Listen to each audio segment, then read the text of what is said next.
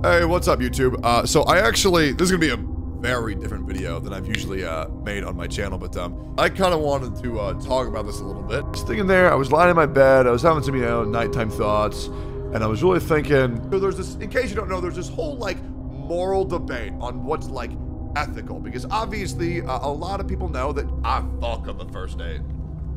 Okay? Y'all better be ready. Do you understand how much I'm holding back? The reality is, is that I am one of the most raw, vulnerable, sexy,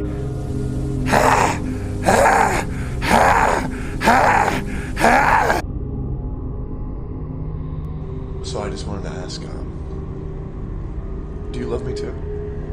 Is it okay if I give you a kiss? Oh, yeah. Oh, yeah.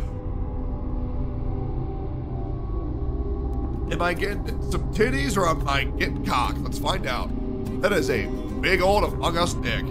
Cock, cock, cock, cock, cock, cock, cock, cock, cock, cock, cock, cock, cock. And I took a fuck ton of it. Uh, I, I took a, I took, I took a fuck ton. And I'm be real, I passed out for six hours. Uh, I passed out for six hours. Never had a single negative experience.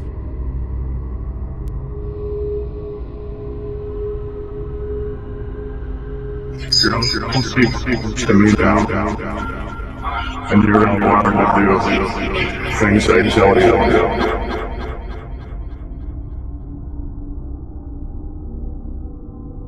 Your cock is just the right size for Yes, everybody you're right. wants You're the dominant one. You're the dominant man. You're the Nick, you are dominant throbbing one. hard right now. You are You're throbbing hard.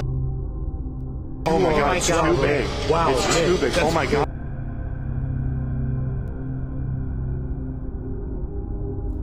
So. So.